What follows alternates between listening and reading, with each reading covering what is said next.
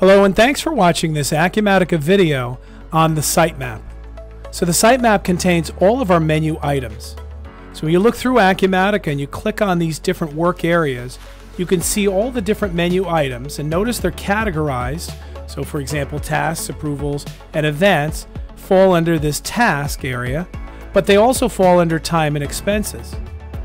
In the past, Acumatica's sitemap was tree-based, and that worked well for the older style menuing structure that Acumatica used to have.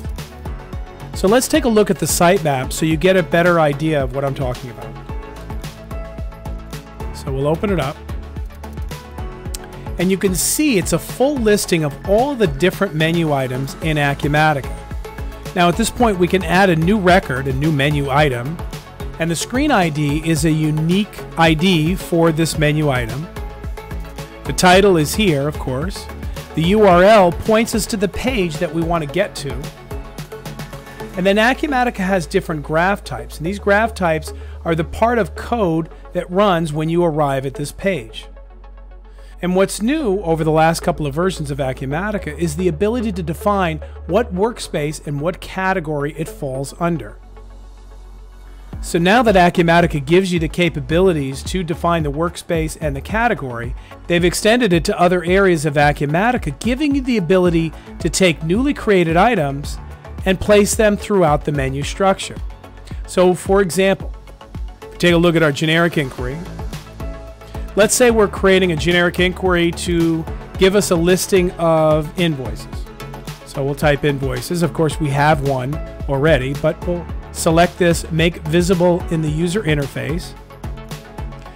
And notice now we get the opportunity to put whatever title we want in there.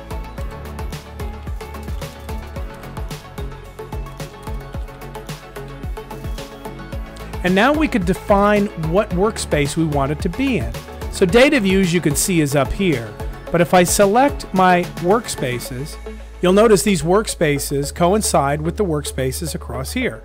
And of course in Acumatica, if you go to Edit Menu, you can create any number of workspaces that you'd like. So for us, let's put this into the receivables. And under receivables, if we click on our work area, you'll notice the different categories already defined in our receivables work area. So transactions, profiles, inquiries, and whatnot.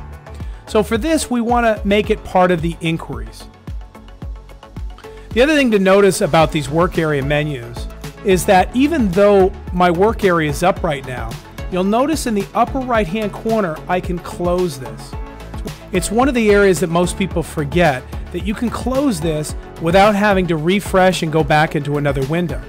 You can close it with the X, of course, but you can also just click off to the side if your screen permits that space.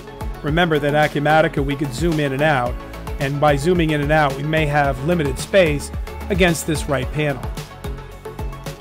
So now, of course, as a generic inquiry, I would add my tables, I would put my filter in there, invoices last 12 months, but I'm going to just save this.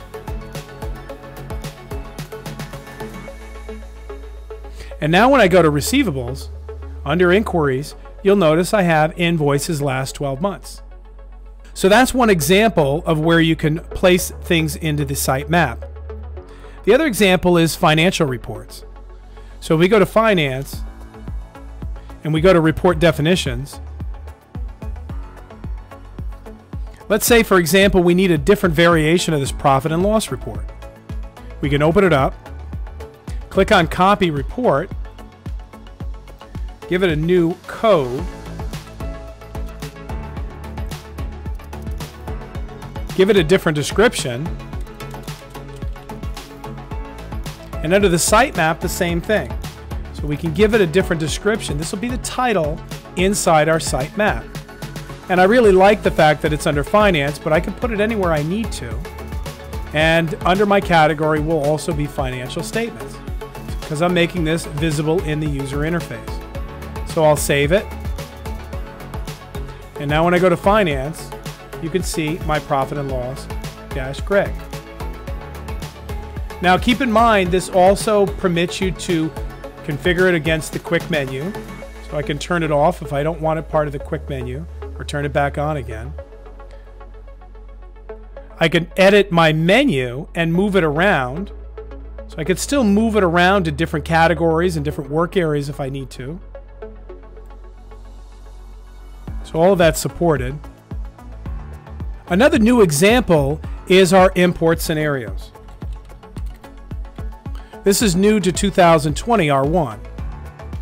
If we take a look at our import scenario profiles, or export scenarios for that matter, we open one up. Let's say we need an import scenario to import AR cash sales. And this is something maybe we do all the time. We want to be able to open it up, drag and drop a fresh file for the day, and run the import. So to do that, first off, we would make this active. We would turn on make visible on the UI, and then we'd find a home for it. So let's put this under receivables Put it under receivables, and we'll put it under transactions.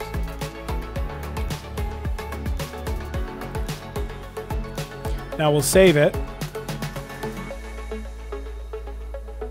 And under receivables, you can now see import AR cash sales. So of course from this screen, I can drag and drop a fresh file. There's already one attached to this but dragging and dropping a brand new file and then hitting import, or you can use the upload file version. Either way, you can then run your import and get your daily transactions imported into the system. All from the convenience of our receivables transaction screen. So that's getting around the sitemap and configuring it and using some of the other areas in Acumatica to put your menu items where you want them for convenience and for accessibility to your users. If you have any other questions, feel free to reach out to us. We'd love to hear from you. Thanks so much for watching and have a great day.